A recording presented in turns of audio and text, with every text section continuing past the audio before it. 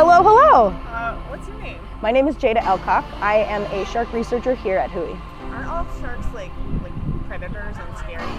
No, actually, we have three very large filter feeding sharks our whale sharks, basking sharks, and our megamouth sharks. I study the first two, the whale shark and the basking shark.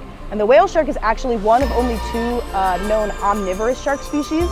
Not only do they eat small fishes and zooplankton, but they're also known to eat an algae called sargassum, specifically floating sargassum, and they can get nutrients from that, um, you know, use it to grow and things like that, just the way that we would with any of the food that we eat. So we're really excited about finding large adult whale sharks in this region um, and trying to understand more about those animals that are so hard to study.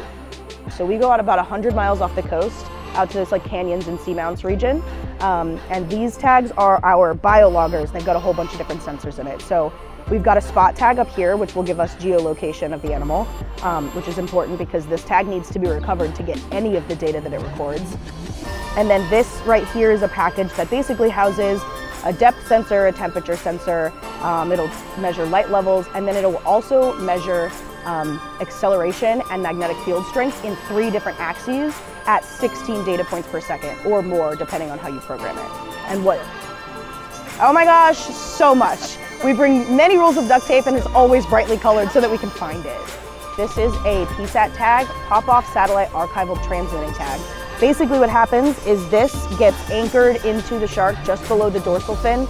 Um, they're very hardy animals, so it's really not doing that much damage at all, um, and they heal really easily. So what this tag does is basically archives a whole bunch of data like the time that they spend at certain depths, the time that they spend at certain temperatures, um, a bit of a time series of the depth and temperature as well. So it sits on the shark uh, for a really long time, a couple months to maybe a year, year and a half or so, um, and then it pops off of the shark and when this interacts with the air, it transmits a summary of all of that data to a satellite. So what I'm doing with this data is trying to understand um, more about their migration.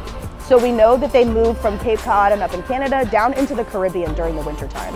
Um, and they're spending time in really, really deep water when they're out there, like 400 to 1,000 meters throughout most of the winter. And we want to understand what the heck are you guys doing so deep in the ocean? Um, my hypothesis is that they're out here for feeding purposes.